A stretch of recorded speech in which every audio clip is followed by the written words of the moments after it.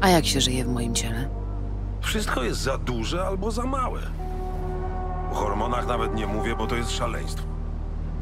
Jest też wkurwiający lak pomiędzy widzeniem i dotknięciem. Gdy bierzesz do ręki kubek, mijają wieki, zanim poczuje ciepło kawy.